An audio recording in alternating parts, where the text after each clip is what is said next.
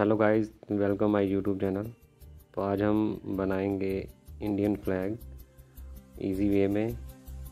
तो चलिए शुरू करते हैं।